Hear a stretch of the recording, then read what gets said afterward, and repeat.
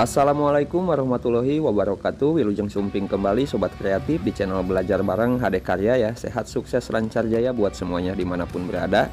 Pada tema Belajar Bareng kita kali ini saya akan coba sempatkan merangkum setiap pertanyaan yang sudah masuk dari beberapa Sobat Kreatif ya.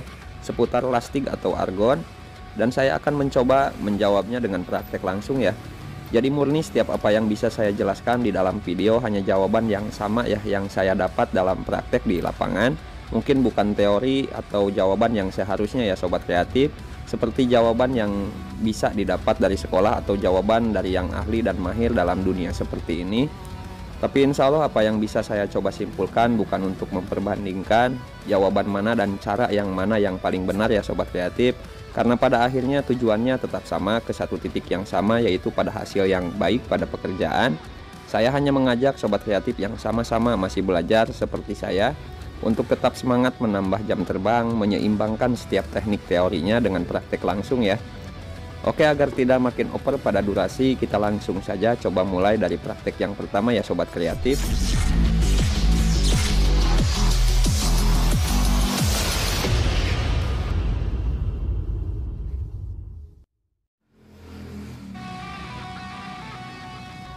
Baiklah di sini mesin las yang saya pakai memakai mesin las TIG otomatis dari Daiden 200 ya sobat kreatif yang pernah saya review juga sebelum-sebelumnya. Dalam praktek kali ini saya akan pakai keramik TIG ukuran 6 dengan jarum tungstennya ukuran 2,4 mm. Saya pakai yang ada saja di tempat saya ya. Banyak pertanyaan apakah pengaruh jika ujung tungsten tumpul dan ujung tungsten runcing ya dan kenapa dianjurkan dan diharuskan ujung tungstennya tetap runcing Bagaimana cara pergerakan ujung tungsten ketika proses pengelasan? Berapa jarak ideal ujung tungsten ke media las ya? Mungkin seperti itu beberapa pertanyaan yang sudah masuk. Oke, kita coba cari tahu dalam praktek ya sobat kreatif. Di sini saya akan pakai ujung tungstennya yang runcing terlebih dahulu. Untuk ukuran keluar jarum tungsten dari batas keramik akan saya sesuaikan dengan kurang lebih di 6 atau 8 mm. Saya biasanya mematoknya dari sudut keramik dan kemiringan jarum tungstennya dengan patokan ya jarak ujung jarum tungsten ke media di 2 atau 3 mm Oke kita coba ke pengelasan pertama ya sobat kreatif. Sebelum kita mencoba pengelasan dengan jarum tungsten yang tumpul ujungnya ya. Agar kita paham untuk hasil akhirnya seperti apa ya. Untuk pertanyaan apakah lastik bisa buat pengelasan besi biasa? Di sini saya akan praktek langsung pada bahan besi bukan stainless ataupun aluminium ya sobat kreatif Oke dan bahan media yang akan saya pakai plat ukuran kurang lebih 6 atau 7 mm ya yang akan saya las di sini. Di plat ini saya akan coba las di satu sisi yang sudah saya bersihkan dengan gerinda ya terlebih dahulu dan di satu sisi lainnya tanpa saya bersihkan ya sobat kreatif. Oke untuk sobat kreatif yang mau melakukan pengelasan dengan media besi ada baiknya memakai kawat pakan yang dikhususkan untuk media besi juga ya Pilar atau kawat las argon baja biasanya banyak ya yang jual di online shop atau di toko teknik. Dan biasanya warnanya tembaga seperti ini ya sobat kreatif. Apakah bisa memakai pakan dengan kawat biasa atau kawat jemuran yang biasa dipakai buat las karbit atau asetilin nanti kita cari tahu semua ya dalam praktek. Di sini juga saya siapkan tiga buah kawat dengan jenis berbeda kawat las argon baja dan kawat jemuran dan satu lagi kawat berbahan stainless ya. Dari warnanya bisa ketahuan ya sobat kreatif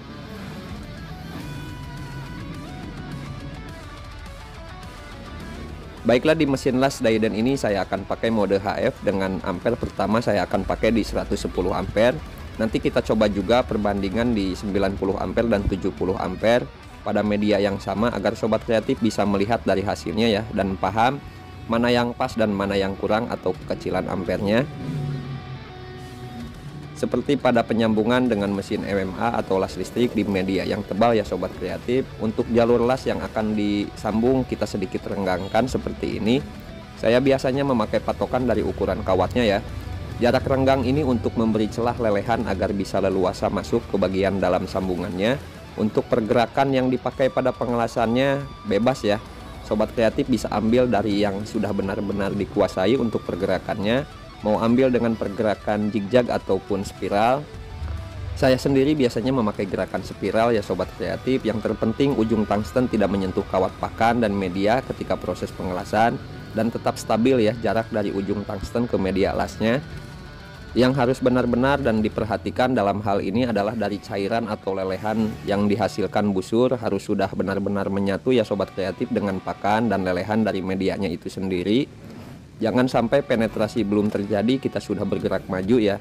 Perlahan saja kita ikuti lelehannya dan tetap stabilkan ya sentuhan busur pada ujung kawat pakannya. Jangan terlalu besar, ambil lelehan dari kawat pakannya ya sobat kreatif sedikit-sedikit saja.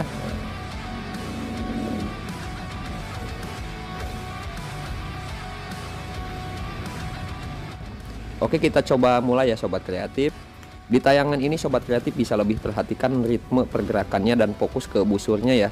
Dengan mempertahankan pilar atau kawat lasnya tetap berada di center jalur lasnya. Jangan acak ya Sobat Kreatif. Untuk seberapa cepat ritme pergerakan seperti yang sudah saya bilang itu diukur dari lelehan penetrasinya. Jadi seberapa cepat ampere 110 ini melelehkan media sampai benar-benar masuk atau menyatu ya. Semakin lambat pembakaran busur pada media las, maka ritme gerak majunya juga harusnya menunggu ya atau akan melambat juga. Semakin cepat pergerakan maju tanpa menunggu lelehan, biasanya hasilnya akan banyak lubang dan penetrasi tipis dan juga kawat lasnya yang akan habis duluan ya. Intinya hasilnya ke mana sobat kreatif bisa menembaknya sendiri ya sobat kreatif. Pengelasan argon dengan ujung tungsten yang runcing berefek pada terfokusnya busur pada titik di mana penyatuan terjadi seperti yang sobat kreatif bisa lihat di tayangannya ya sekarang kita coba lihat untuk hasilnya seperti apa. Dan kurang lebih seperti yang bisa dilihat ya untuk hasil praktek pertama saya pengelasan media besi ketebalan 6 mm dengan ampere 110 ampere tekanan gas di 10 pergerakannya spiral ya sobat kreatif. Kawat las yang dipakai kawat las argon khusus besi atau baja. Intinya di sini saya berusaha menjaga ujung busur tetap terfokus pada jalur las Jarak ujung tungsten tetap stabil, tikisan busur untuk melelehkan kawat las saya usahakan tidak terburu-buru atau sedikit-sedikit ya sobat kreatif.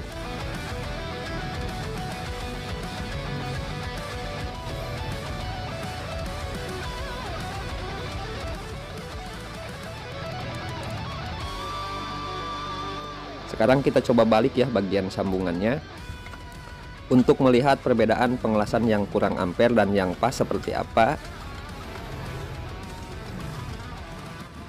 Yang pertama saya akan pakai ampere di 90 Saya coba turunkan dari 110 ya sobat kreatif. Media besi masih sama ya Kawat las masih sama yang dipakai. Dari ritme sedikit lebih pelan dari sebelumnya Karena ada waktu menunggu lelehan medianya mencair Dan menyatu dengan kawat lasnya ya. Dan untuk hasilnya hampir sama saja dengan yang 110 ampere Perbedaannya hanya dari kurangnya bersih di alur lasnya ya Ada semacam plek di tiap alurnya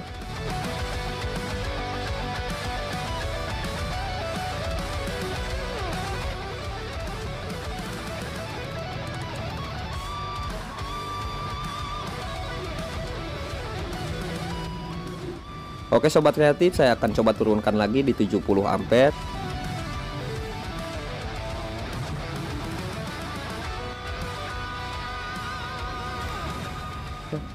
Di 70 ampere ini malah makin sulit mendapatkan lelehannya ya Yang disebabkan kurangnya tekanan panas yang dihasilkan busur. Di 70 ini sudah bisa dipastikan ya sobat kreatif kalau ampernya benar-benar kurang. Kita coba lihat juga untuk hasilnya Untuk hasil sekilas sama saja dengan yang 90 ampere, hanya kalau kita tes kekuatan tentunya yang 70 ampere ini tidak punya kekuatan sama dengan yang 90 ampere. Untuk kotornya pada alur lasnya juga sama, malah sedikit over ya di sini sobat kreatif. Oke sobat kreatif, untuk menghilangkan penasaran kita coba langsung praktek pada ampere yang pertama saya pakai tadi ya di 110 ampere. Dari tayangannya juga sobat kreatif bisa lihat ya dari halusnya lelehan, stabilnya busur yang menurut saya ampere yang cukup ya di pengelasan ketebalan 6 mm. Untuk dari hasil sobat kreatif bisa melihatnya sendiri lebih halus dibandingkan yang sebelum-sebelumnya ya. Oke sobat kreatif, intinya ketika saya mengatur ampere pada mesin las MMA, MIG ataupun las argon seperti ini, patokannya hanya dari lelehan dan penetrasinya Meskipun di buku panduan mesin las biasanya ya ada petunjuk rekomendasi ampere, kawat las dan lain-lain yang direkomendasikan. Hanya saya merasa yang lebih real itu kita sendiri ya yang cari di prakteknya langsung dan itu alasan kenapa saya sering bilang ya sama sobat kreatif semuanya yang menanyakan kalau cara atur ampere di mesin las itu akan berbeda-beda. Oke sekarang saya akan lanjut untuk mencoba mengelas dengan jarum tungsten yang tumpul ya untuk mencari tahu bagaimana hasilnya ya sobat kreatif pada pengelasan masih di media dan ampere yang sama juga kawat las yang sama ya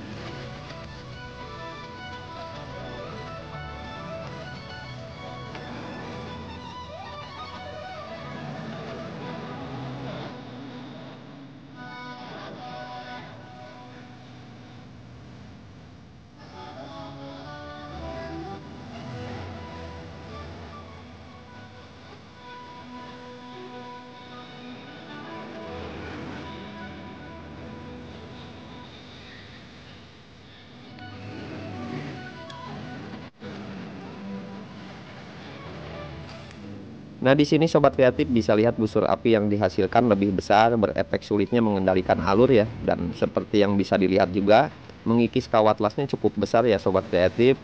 Untuk hasil bisa dilihat ya, bagian sisinya gosong.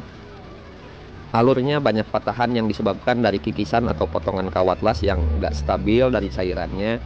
Jadi ketika kita melakukan pergerakan maju karena apinya yang over atau besar, akan mengkikis kawat lasnya yang kadang besar kadang-kadang kecil ya. Terjadilah patahan pada alur lasnya seperti itu ya sobat kreatif. Mungkin seperti itu ya kalau saya lihat dari praktek. Baiklah sekarang kita masuk pada praktek yang terakhir ya sobat kreatif yaitu pengelasan dengan memakai kawat jemuran atau kawat yang biasa dipakai di karbit atau asetilin tapi biasa juga dipakai buat kawat tambal di las MMA ya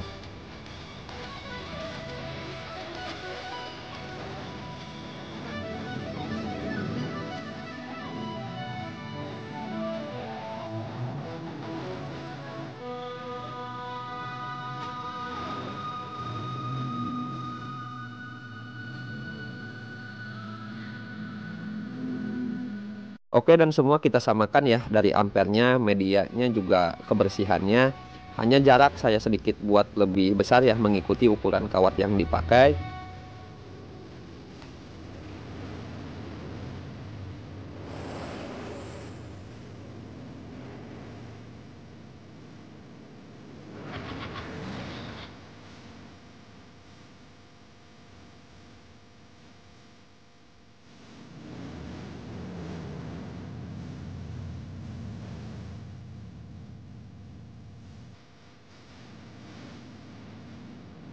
Seperti yang bisa sobat kreatif lihat ya untuk hasilnya pada bagian sisi alur ada semacam putih seperti itu. Itu bukan gosong ya sobat kreatif melainkan kandungan galvanis juga seng yang terdapat pada kawat lasnya.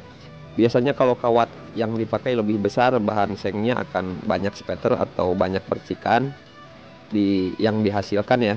Sama halnya dengan galvanis pada pengelasan MMA juga ya sobat kreatif. Asapnya yang oper dan kadang-kadang percikannya juga oper ya Intinya pengelasan besi dengan las argon atau TIG bisa memakai kawat las dengan bahan kawat biasa, kawat galvanis ataupun kawat stainless. Rekomendasi dari saya, jika sobat kreatif las besi bahan biasa dengan las argon, pakailah kawat las yang diperuntukkan untuk pengelasannya. Kalau memang mencari hasil yang sesuai dan baik ya sobat kreatif. Kalaupun dengan kawat biasa masih bisa dipakai, hanya yang baru-baru seperti saya yang masih belajar akan sulit mengendalikannya karena banyaknya kandungan ya yang terdapat di kawat lasnya banyak sekali percikan dan kejarum tungstennya juga akan cepat tumpul ya atau habis sobat kreatif. Oke sobat kreatif semoga sedikitnya yang bisa pemula bagikan di kesempatan kali ini bisa bermanfaat buat semuanya bisa kembali menambah semangat yang sedang belajar di bidang ini agar lebih menyeimbangkan setiap teori dan tekniknya dengan praktek ya Maaf yang tidak pernah saya kurangkan untuk semuanya dari tata bahasa praktek juga penjelasan yang acak-acakan dari amatir ini Insya Allah tidak selai menggurui dan senekat itu saya untuk mengajari indukan burung dalam terbang. Kita sama-sama belajar di sini ya. Koreksi setiap kesalahan, saya tegur setiap yang keterlaluan, maklumi dari setiap keterbatasan. Karena secerdas apa pun guru yang kita ikuti tak akan buat kita lebih cerdas ya sobat kreatif jika kita malas dan menolak untuk cerdas. Assalamualaikum warahmatullahi wabarakatuh.